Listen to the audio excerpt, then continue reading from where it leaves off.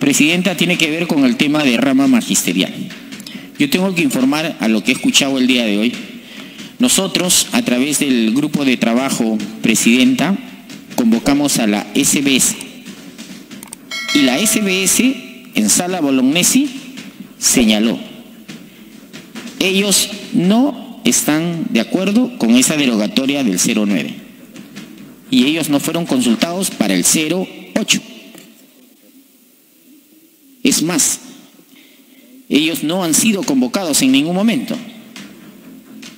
Y eso fue lo que nos dijeron los eh, funcionarios que vinieron de la SBS. Nos lo dijeron en esa sala, en esa reunión del grupo de trabajo. Así que lo que le pedimos a este, la señora ministra por su intermedio, evaluar, revaluar y si es necesario modificar. Por encima de todo, hay una pirámide de Kelsen que nos enseñan y donde las normas tienen una jerarquía y por encima de todas ellas está la Declaración Universal de los Derechos Humanos.